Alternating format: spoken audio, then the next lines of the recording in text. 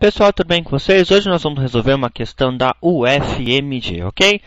Mas antes disso, gostaria de convidar a entrar no meu site www.vandeguir.com.br Lá você encontrará os vídeos de uma maneira bem organizada para facilitar os seus estudos, ok? É tudo de graça, não precisa se cadastrar, não precisa nada, é só entrar, curtir, se divertir e aprender. Gente, eu mantenho esse site justamente para poder facilitar a vida de vocês, ok? Para vocês entrarem lá, tem facilidade de acessar as videoaulas, poder aprender.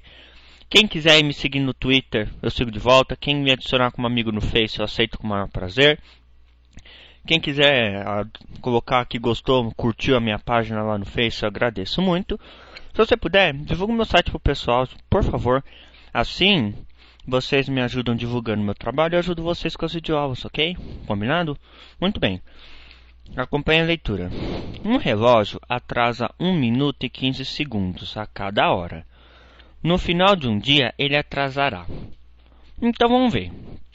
Quais são as grandezas que estamos relacionados, não é? Então vamos ter aqui. Vamos colocar um tempo assim se relacionado ao dia, né? Que ele quer saber quanto se atrasa no final do dia. E aqui eu vou colocar de quanto que o relógio atrasa. Então vamos colocar assim, ó. O relógio atrasa 1 minuto e 15 segundos em uma hora. No final de um dia, quanto ele atrasará? Bem, primeira coisa, temos que colocar as unidades tudo certinho, não é verdade? Que nem eu expliquei para vocês. Aqui eu tenho horas e aqui eu tenho dia. Rola isso? Não, esquece, não dá certo. É mais fácil passar hora para dia ou dia para hora? É mais fácil passar dia para hora, não é verdade? Porque um dia tem 24 horas, não é verdade? Então vou colocar aqui, ó, 24 horas. Batata, essa conversão fica tranquilo. Vou até apagar o H aqui já, ó. Que a, nós temos aqui as unidades iguais, então não precisa esquentar a cabeça. Agora, eu posso trabalhar com esse 1 minuto e 15 segundos? Não, aí você fala, eu posso colocar 1,15? Não, 1,15 não é 1 minuto e 15 segundos. Certo? Muito bem, o que, que eu faço com isso? Então vamos converter. Vamos passar 15 segundos para minutos ou esse minuto para segundo. Olha, eu gosto de pensar assim, nesse tipo de problema. Marca aqui 1 minuto e 15 segundos, certo? 1 minuto tem quantos segundos? 60. Gente, por isso que eu falo, o melhor relógio que tem na hora de fazer um concurso público é aquele relógio de ponteirinho, conhecido, na verdade é o analógico, ele é conhecido como relógio de ponteirinho. É o que eu uso, não gosto de relógio digital.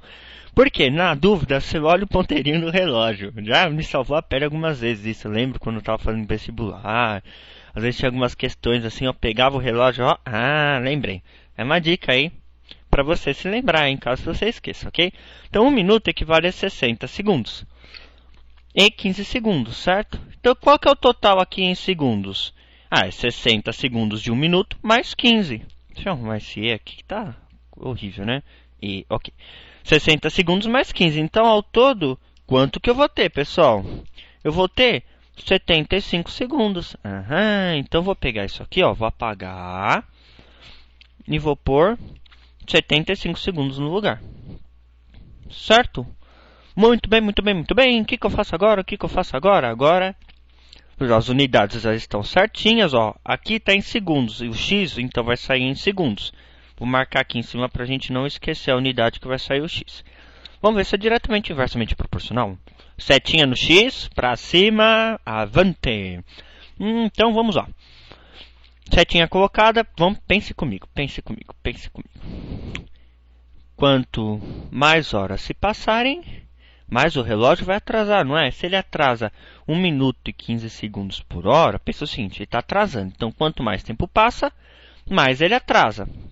Quanto menos tempo passa, menos ele atrasa. Mais tempo passa, mais ele atrasa. Menos tempo passa, menos ele atrasa. Opa! Sinais iguais, ele é diretamente proporcional. Tem uma videoaula só falando sobre ser diretamente e inversamente proporcional, ok?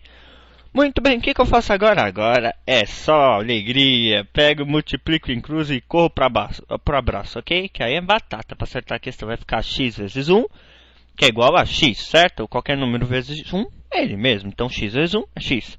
Isso é igual a 75 vezes 24. Aí você fala, pô meu, conta, faz, qual que é a dica para multiplicar 75 vezes 24? Aí eu falo assim, ó, é um bom, um lápis bem apontadinho, uma borracha em caso você errar, porque não tem jeito, gente. Aí é inevitável, você vai ter que fazer 75 vezes 24. Isso vai dar 1800. 1800 o quê? Não está em segundos 75, então aqui vai dar segundos. Poxa, mas a resposta está em minuto? É, nem, isso aí quem inventou essa questão nem foi de propósito, né? Pois bem, 1800 segundos, como é que eu passo isso para minuto? É fácil, ó.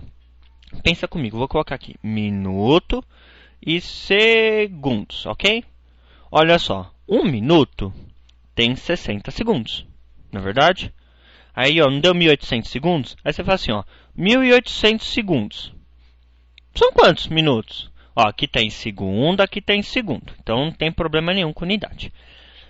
Vamos ver se é diretamente proporcional? Sempre faça essa pergunta, gente, senão você pode cair do cavalo. Cuidado. Setinha para cima no x. Vamos lá, no x, setinha para cima. E aí, vamos pensar, pensa comigo. Quanto mais minutos eu tenho, mais segundos eu tenho. Quanto menos minutos eu tenho, menos segundos eu tenho. Opa, então é diretamente proporcional. Opa, que coisa boa. O que, que eu faço? O que, que eu faço? Multiplique, cruze e corro para o abraço. Que é, vai sair a resposta, tá? Então vai ficar aqui, ó. 60 vezes x, ou 60x, dá no mesmo, x vezes 60, tudo a mesma coisa, igual a 1 vezes 1800, que vai dar 1800. 1 vezes 1800 é 1800, ok? Qualquer número vezes 1 é ele mesmo. Já falei isso várias vezes, né? Eu sei, tudo bem. Uh, 60 está multiplicando x, eu quero saber o valor de x, eu não quero saber o valor de 60 vezes x, eu quero saber só x. Então vou pegar esse 60 que está multiplicando e vou passar ele dividindo. Então x vai ser igual a 1800 dividido por 60. E o que, que eu faço agora? Opa, mando zero para o espaço. x é igual a 180 dividido por 6. Muito bem. Como é, qual é a dica que eu dou para você é, fazer essa divisão rápida? Pensa comigo. Podemos simplificar, não podemos? Mas olha só, vou ensinar um truque para vocês agora. 180. 180 não é a mesma coisa que 18 vezes 10? Certo, então vai ficar 18 vezes 10 dividido por 6. Não é verdade? Olha só como facilita as coisas fazer isso. Posso simplificar 18 e 6? Posso. Você pergunta, posso simplificar por 2? Tudo bem. Se você tiver já prática, você vai ver, pô, 18, 6 vezes 3 é 18. 18 dividido por 6 é 3. Poxa, eu posso simplificar por 6 direto? Pode, não tem problema, mas eu vou fazer passo a passo, que às vezes a pessoa não enxerga isso, então não tem problema também. 18 dividido por 2 é igual a 9, vezes 10 dividido. 6 dividido por 2 é 3. Dá para simplificar de novo? Dá por 3. Pessoal, se você dividir isso aqui direto na mão, você chega na mesma resposta, tá? Que eu gosto de simplificar. Dá para simplificar por 3 em cima e embaixo, ó. Dá, então vai ficar 9 dividido por 3 é 3, vezes 10. 3 dividido por 3 é 1. Opa, todo número dividido por 1 é ele mesmo, então vai ficar só 3 vezes 10. 3 vezes 10 é igual a 30. 30 é o quê? 30 minutos. Olha só, não estava querendo achar o valor em minutos, o x não está em minutos, aqui não está em minutos. O x sempre vai obedecer à unidade que tiver aqui. Muito bem, 30 minutos. Voltando aqui, olha só que beleza. Letra B é a resposta correta, 30 minutos. O relógio terá atrasado, atrasará no final do dia, ok? Muito obrigado, um grande abraço, até a próxima videoaula. Fique com Deus e se der, conta no meu site pro pessoal, combinado? Obrigadão, fui.